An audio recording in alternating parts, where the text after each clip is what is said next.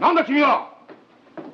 あんた誰なんだ楽には言わないよ。君ちょっと前彼と。はい。ご一等さんお高いとこよりの突然の仁義失礼いたします。私訳ありましてそちらの十字架のり子さんに怠慢仁義発します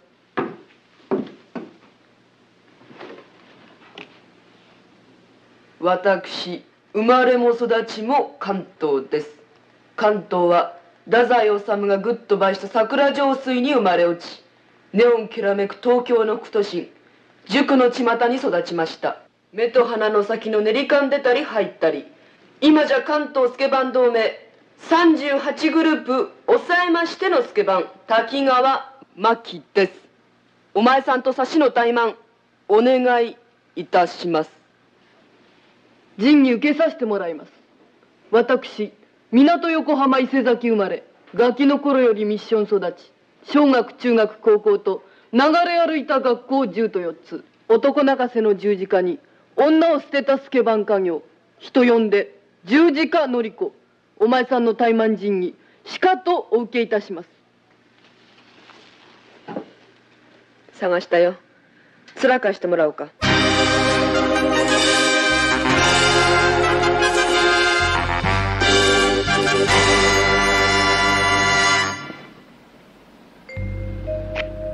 さあ行くよ。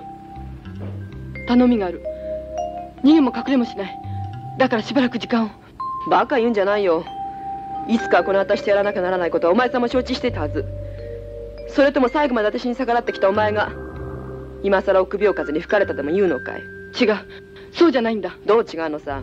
秋山道夫覚えてるかい？道夫ああ。お前さんの万格だった子だね。敵ながらいい万格だった。その道夫が希望学園で殺されたんだ。お前さん敵を討つためにここへ？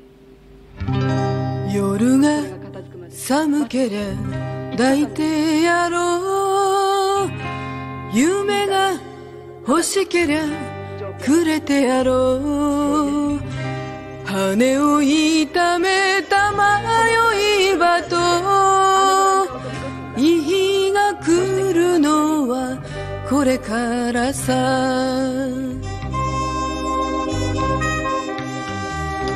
街の明かりは釣れなかろう。母の乳房が恋しかろう。一人ぼっちの野良犬よ。負けてしまえばおしまいさ。負けてしまえばおしまいさ。